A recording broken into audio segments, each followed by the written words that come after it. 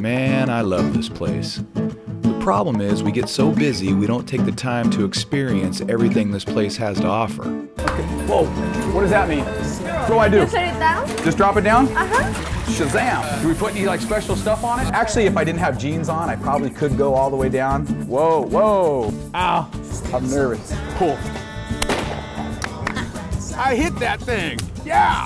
Let me try some of that. You got to get kind of Picasso with it. I can feel my lungs closing up. Now, is there normally somebody there to help you put this on? No. And the loser does dishes. Oh, That's kind of how it's. You guys are setting me up.